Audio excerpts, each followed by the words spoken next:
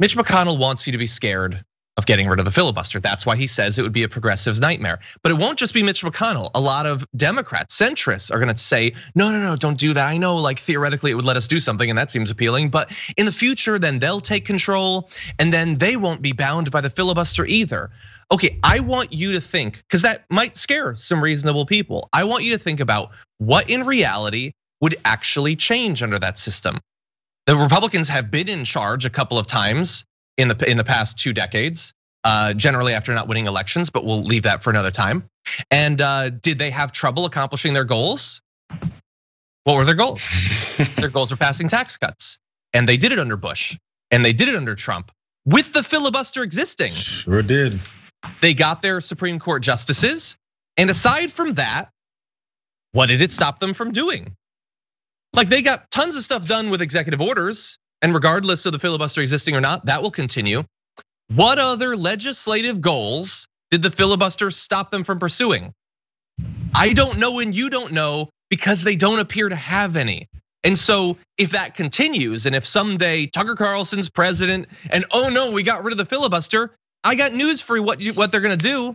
They're going to pass big tax cuts and they were going to do that anyway. Absolutely. So the situation we have right now, you need to understand because a lot of Democrats are going to try to scare you, including Kyrsten Sinema and Joe Manchin, and not doing this. The only difference will be for the opportunities for this, the left to accomplish something. The right has never been constrained from that. They get whatever they want with the filibuster. We need to get rid of it for us to have a chance. That is equality. And so don't listen to Mitch McConnell try to scare you. Don't listen to the Dems try to scare you. This is the only way uh, America's problems are going to be solved. Can I also uh, tell you, Rand Paul also illustrated, ironically, illustrated exactly what um, the next Senate will look like without us eliminating the filibuster. Because look at what happened with the impeachment trial 55 45. They still lost.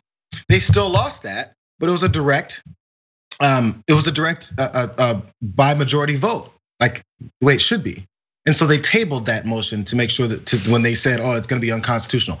When they ran up in the Capitol and tried to kill elected officials, that's the thing that they said it's unconstitutional to, to not make the guy uh, responsible for and not actually convict him for.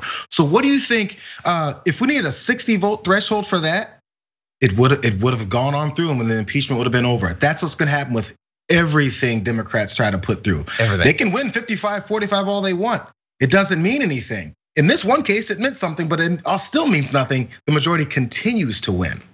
It's it's insane. It's insane. So they give you an illustration of the way that they're gonna, uh, uh, the way that they're gonna govern, or the way they're gonna continue on, in everything that gets that even gets put up. Yeah. It's yeah, we're in the minority, but we're enough, we're we're enough of the minority to still not do anything.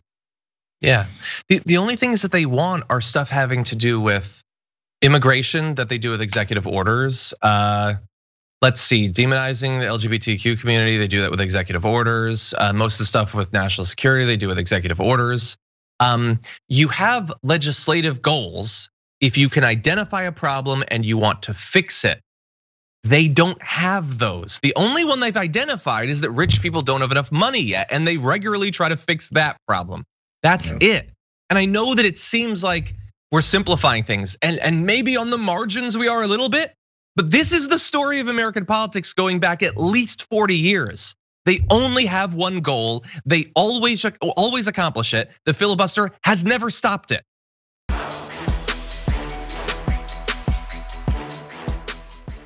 Check out the Damage Report podcast each day, wherever you get your podcasts, whether Pocket Casts or Stitcher or iTunes. You can join me as I give you the news and stories you want, with a range of co-hosts and interview guests jumping in on the fun each day. Again, that's the Damage Report, wherever you get your podcasts. And if you get them at iTunes, don't forget to rate and review. Sometimes I'll read them live on the show.